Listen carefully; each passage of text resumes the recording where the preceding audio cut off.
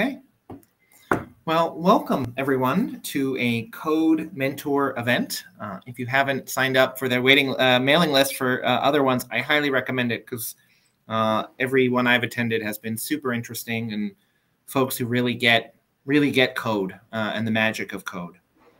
I am Matt Van. I'm the founder and CEO of a software company called SEMA. Um, I heard a little bit of an echo. Uh, Antonio, I think you might not be on mute. Can you try going on mute? See if I mute everybody. All right, I'm going to try that.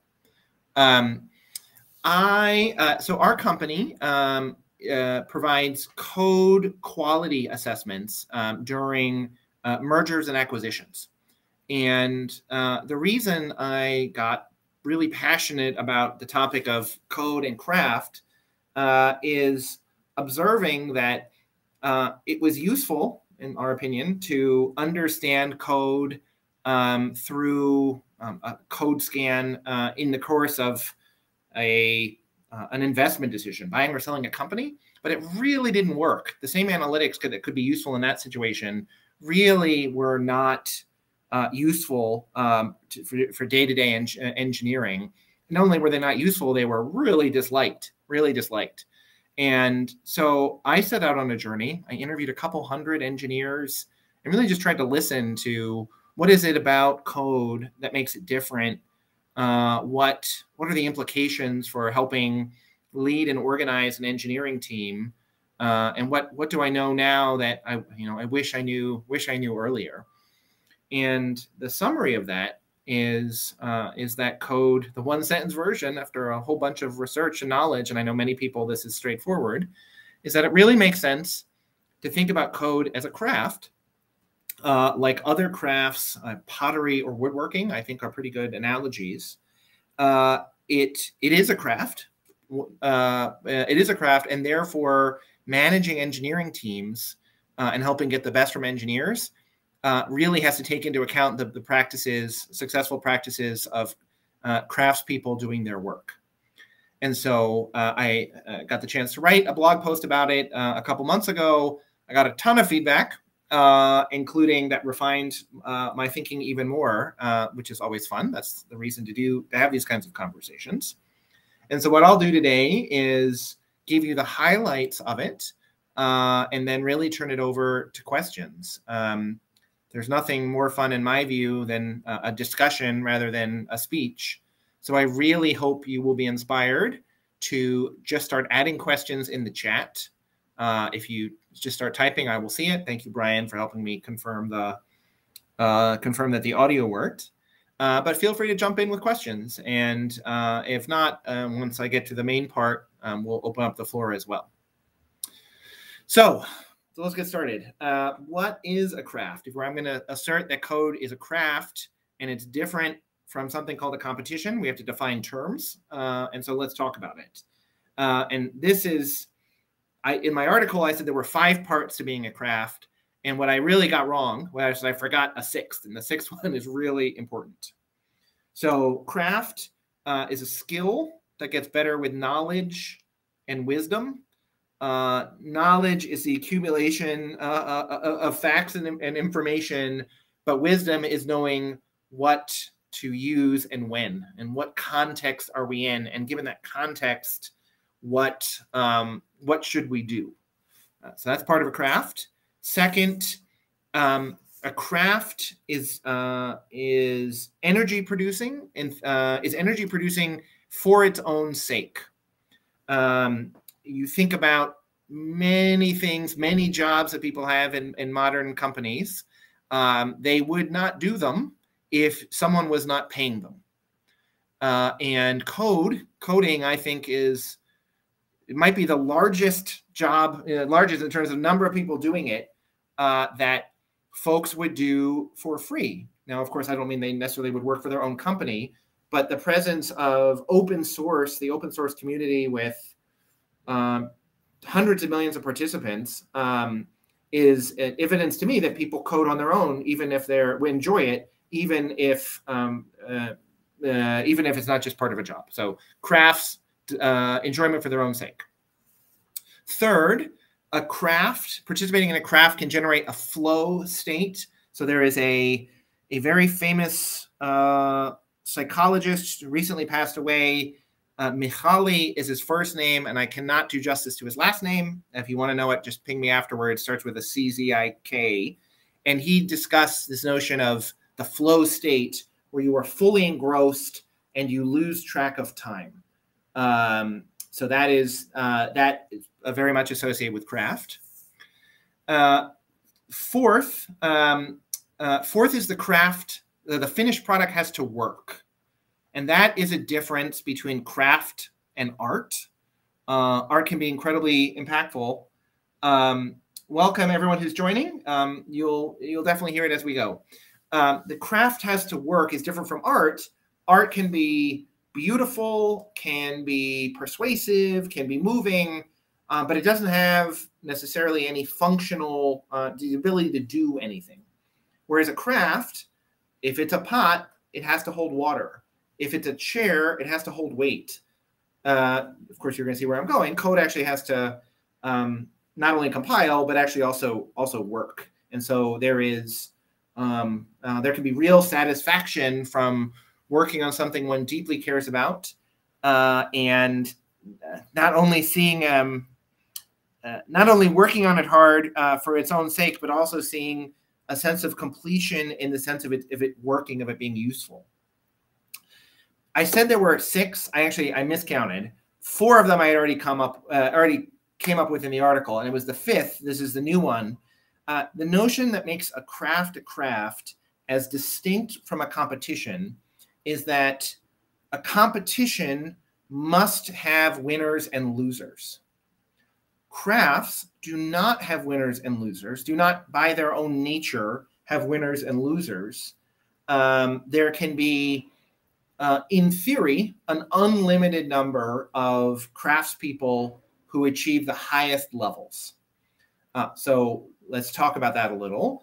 Um, uh, pottery, uh, there could be, uh, in theory, everyone, certainly every member of a, of a pottery guild could uh, be an absolutely outstanding, um, be a member, be an absolutely outstanding potter.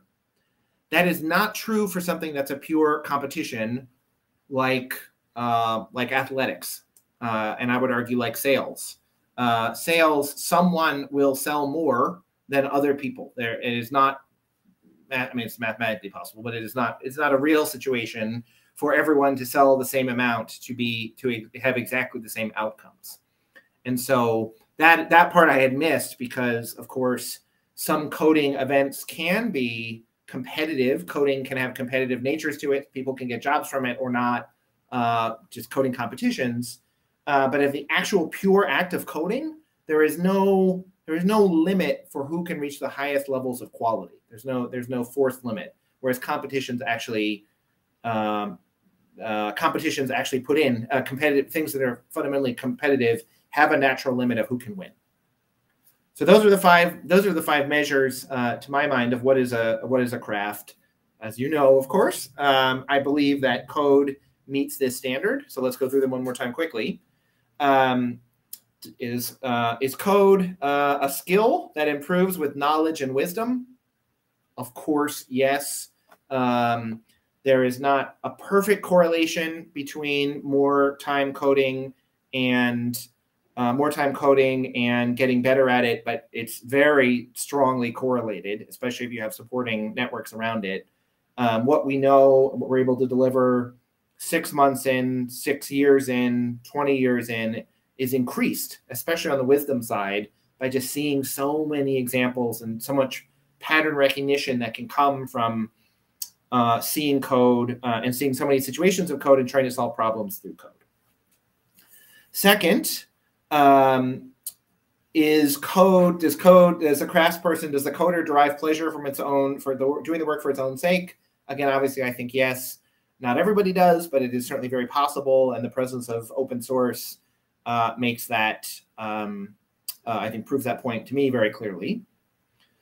Third, uh, can craft generate a flow state? So I read, uh, I shared in the article, I think there are 10, nine steps um, that Mihaly, the psychologist, uh, shared. I'm just going to read them because I, I just think they're so perfect for what coding feels like in the right situation. Not all of them, companies get in the way, but it, when coding, when the environment is right, it really resonates with, with the coders I know.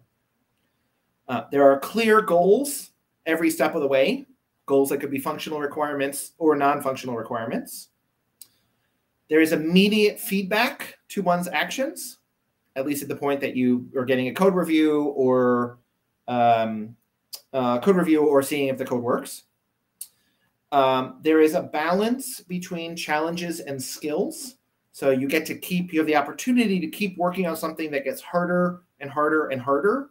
That's not true, obviously, in some areas like, uh, let's say, a manufacturing line where you can get to mastery of the task and the, the difficulty does not vary and you can't choose to make it more difficult. Uh, action and awareness are merged. That very much sounds like coding. Uh, so there are nine of these. I won't read you the whole of them, but I, I do think it actually matches up quite quite nicely. Fourth, the finished craft has to work. Well, already talked about this. It is not enough for the code to be written cleanly uh, or elegantly uh, or understandably. Uh, as cra- as coders, um, coders evaluate whether or not the code actually works and does what it's supposed to, and if not, uh, the other characteristics are uh, just don't matter. Certainly don't matter as much. And then finally, and of course I also reference this, must there does coding involve winners and losers fundamentally? Can disagree with that, and if you do, we'd love to hear it. But I would say, even though there are job setting, you know, job situations where people come out on top or hiring or competitions, as the actual nature of coding, there is nothing stopping um, people from getting more and more expert and more and more advanced. The only limitation is um, is internal uh, or um, is to that person, uh, whether they have the uh, the will, uh, the resources, uh, and the time uh, to get better and better and better. there is no limit to each person achieving mastery in a way that that is that really is different from from a pure competition. So then finally, Part three. If you believe this uh, and you believe code uh, code is a craft and not a competition, what should you do about it? Uh, if you're an engineering manager, if you're a CFO, if you're a CEO, CTO as well. Uh, and this this again really helped me understand why when we built our first product, it just didn't didn't work uh, uh, in a day to day way. Um, and I've since we've since tried to really make sure we're following these lessons for for how we run our own code. Um, one part of this is getting putting uh, expertise at the fingertips of developers. Uh, so if it relies on wisdom, you want as much wisdom available to you as possible, or at least if it relies on wisdom, you want as much knowledge uh, at your fingertips as possible so you can use wisdom to decide which situation you should use. Uh, that's why Stack Overflow is so freaking useful. Uh, I know, I'm sure some of you have heard people uh, uh, in the coding community say, well, it doesn't count if you're looking it up that's of course crazy. Um, coding is about finding the right answer, and if the right answer exists and has already been built, the hard part is figuring out which lesson to apply. Uh, second, it's not just about velocity.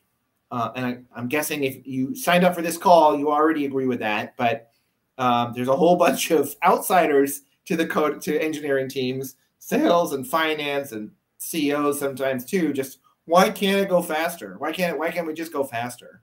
And something that requires knowledge and wisdom and judgment, speeding things up can get in the way of getting to the right answer.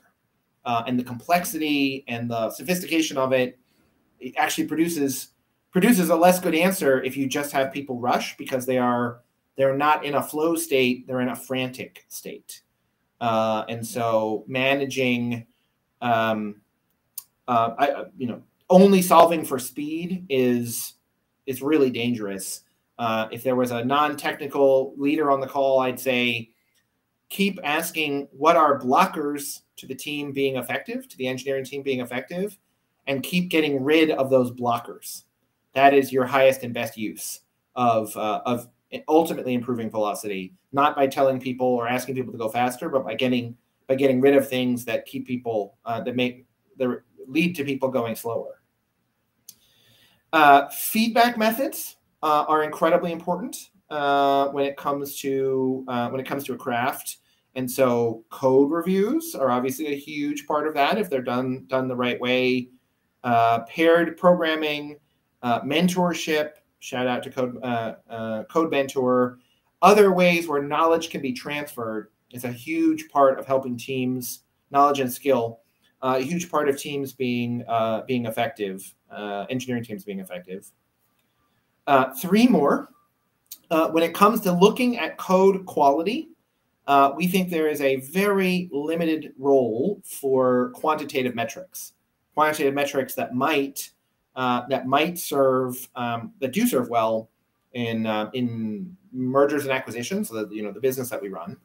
Uh, but day to day, when you're actually coding, the thing that matters is is the subjective assessment of other coders based on their wisdom and that's why that's why we are such passionate proponents of code reviews um, uh, because that is that the code review is a subjective assessment of given all the context uh, do we think this is the right solution uh, for this particular uh, engineering problem? Second to last uh, metrics about coders. We were just talking about metrics about code. Metrics about coders are very dangerous and should be used carefully. Um, some of you uh, may have been in organizations, hopefully not today, uh, but there used to be organizations that would count the number of lines of code that each developer would commit every day and manage people to a certain number of lines of uh, lines of code committed. Again, I'm sure if you're on this call, you agree that that is crazy town. Um, it some one sometimes the uh, the best coding is removing code. It's not about adding. Two, uh, in many situations, uh, I'm laughing because there's so many reasons why this is a terrible idea. Uh, a second reason it's a terrible idea is uh, sometimes the most important thing to do is to figure out what to build and how to build it, and then actually doing the building um, uh, can be relatively straightforward. So having everyone just code um, is gets in the way of the thinking that leads to the best possible answer. Um, and then the third reason, and this is if there was a non-coder uh, on the call, uh, I would say, by the way, coders are incredibly smart, and methods of managing coders through through quantitative metrics, they will just game the system. Uh, uh it's uh, and gaming in this case meaning uh, carrying out behaviors that aren't aren't in the best interest of the team, the person, the organization. This all may seem obvious, but there are other fields where that's not true. Uh, I um, so I am a salesperson for a living as the CEO of this business. Every metric I can get on my sales performance is useful. It's useful information to help me better be better at my sales function. Uh, you think about athletics, every piece of data is useful and it's not private and it wouldn't be weird to share it um, barring most situations certainly performance data you think about the stats available from football either world football or american football um, how much people know quantitatively about each other as participants as coaches as fans and it doesn't doesn't run con, uh, contrary to the ethos of the work the work of playing in that case uh, to have this quantitative information about people shared. And it absolutely does about coding. It just, I'm guessing like you, it sort of brings your shoulders up to think about having that kind of level of information about each coder available to everyone. Uh, and then finally, as a, as a, as a tactic, um, or maybe as a, a particular implementation, it's really hard to get code interviews right as part of the interviewing process. So if coding is primarily done, um, um, if coding is primarily best done without pressure, with time to reflect, with time to research, then having coding exercises with a short period of time and someone looking over your shoulder likely aren't going to generate um, the best, the most accurate assessment of another engineer uh, as if it was more like real life, where real life is time to reflect, it's not under time pressure, etc. I wouldn't claim to say that um, inter- coding interviews don't have their place. Great, great, great organizations um, uh, use them and and and uh, uh, have this as part of their their process. But I would say use them carefully and try really hard to minimize their impact and to make the situation as um, as realistic as possible.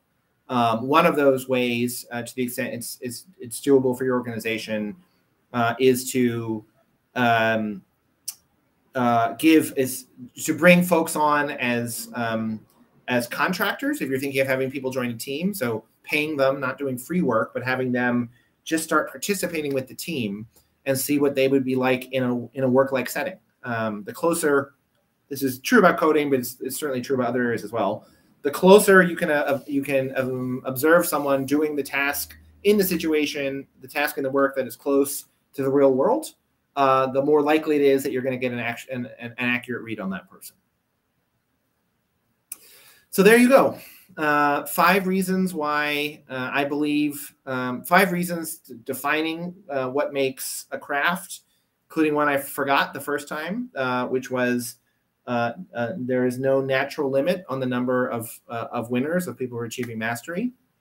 My deep belief that coding meets that criteria, all five of them.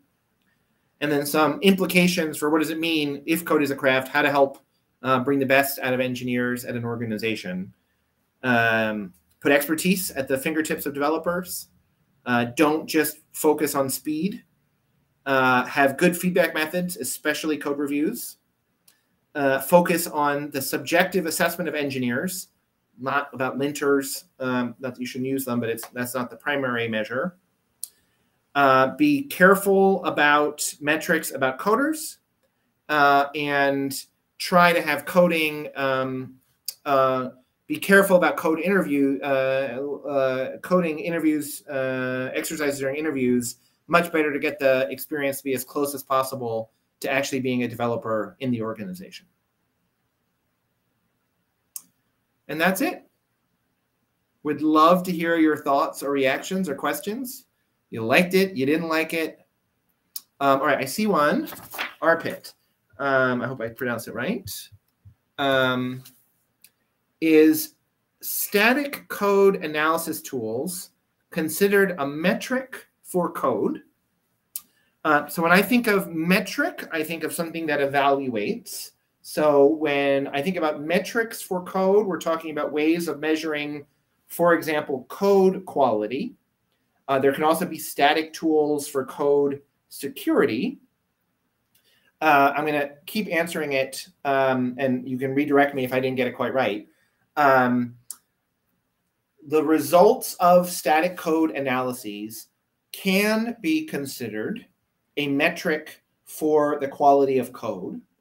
I think, in particular, security metric, security uh, results of security scans through static analysis. It's also true through dynamic security scans, but static ones uh, is relevant.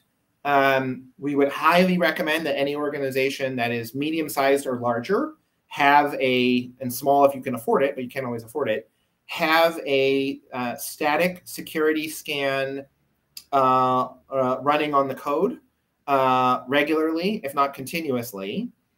And the count of those, um, the count of security uh, security warnings is a relevant indicator of the health of the security of the code base.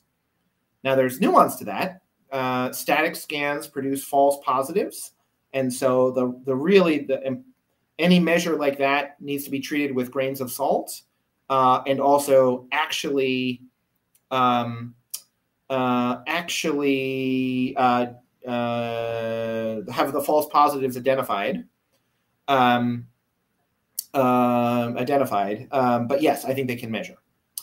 Um, can you share the article you wrote on this topic? I absolutely can. Let me figure out the right way to do it. If I put it in chat, will everyone see it? I think yes. Code is a craft, not a competition. Huh, huh, huh. Huh? All right. Okay. Will someone volunteer and write back? Did you see in the chat the uh, the link? Oh, the link. I didn't give you the right link. I'm sorry. Uh, code is a craft, not a competition. Here we go. Okay, this is the link, the second one. Um, okay, uh, Jessamine, you're very welcome. Um, uh, thank you for sharing that feedback.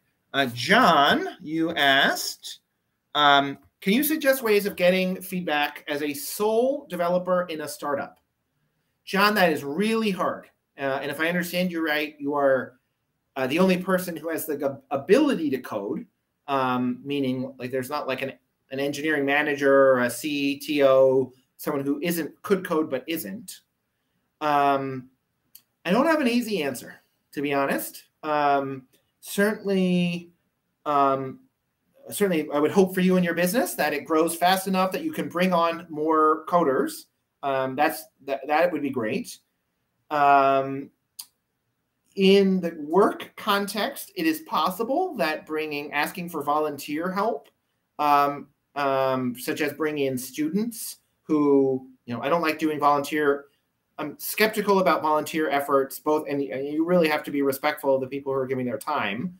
Uh, but certainly, if you agree to give another developer feedback, uh, it would, in my opinion, it would be super appropriate uh, to get a grad student uh, developer um, uh, in an unpaid internship, though of course paid would be better. If um, who would then write code, you would review their code, they would review yours, um, as long as you really gave them a great experience. Obviously, paying it, uh, paying for it would be even better.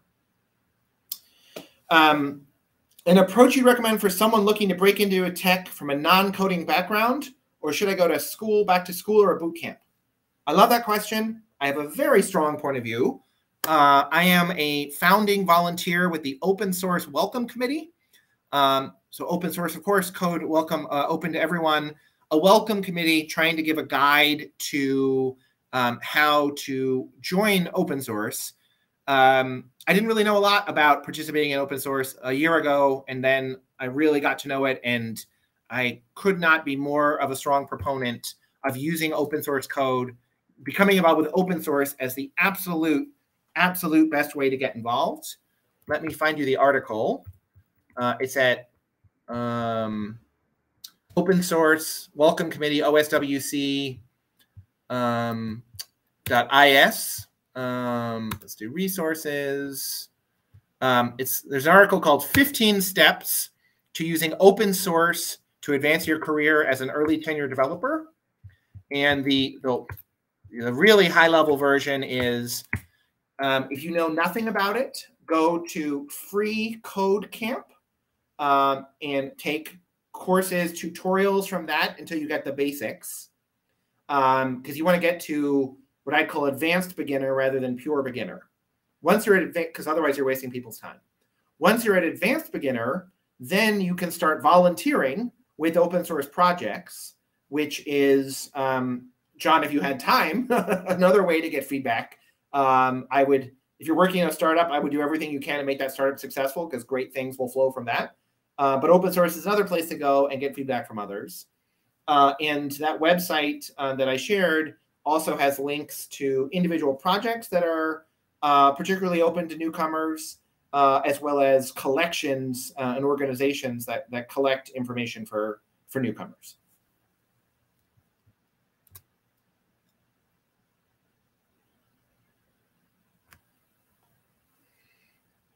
Any other questions or comments?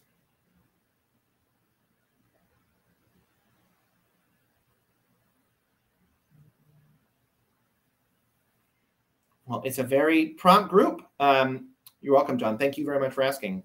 Um, thank you all so much uh, for spending a half hour of your day with me. I would love to hear from you if you have feedback or things that I missed. And I wish you a wonderful afternoon and a great rest of your week. Take care, everybody, and thank you.